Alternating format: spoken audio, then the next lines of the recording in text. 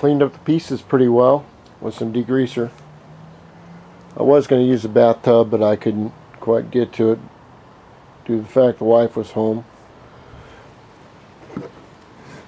And I've cleaned um, everything up fairly well on them because they're real old panels. I should get some new ones, but I've, I don't know, maybe one day I will. Next thing I'll do is take the Hemi emblems off, scrape them off very carefully. I can always put on new glue.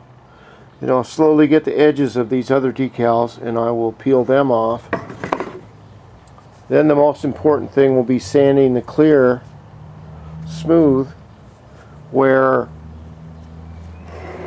there's any kind of low spots. And can, I think you can see some of the low spots and things.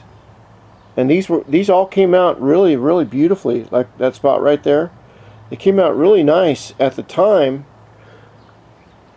But like all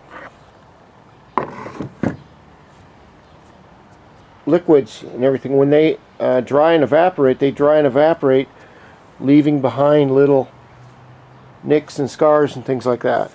So I'll clean up little areas like this. You can see how many layers of coat of paint on there. I'll clean up this really well. I've tried to get these as smooth as I can so that they won't chip out. But they keep chipping out on me right here. This Honda emblem I will tape off from here over to here and put some paper over that and just leave that alone. As soon as I get the new color on here and here and the rest of it, I'll just spray the, um, I'll take the paper off and spray clear over the whole thing. And then I'll keep my top part and the rest of it will be that new color. So it's kind of getting dark out here. Spring is here, but it's still cold as hell out. I don't know why. It's almost May. Still cold out.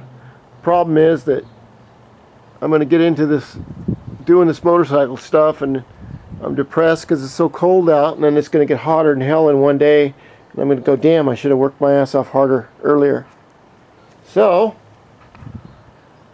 that's where we are today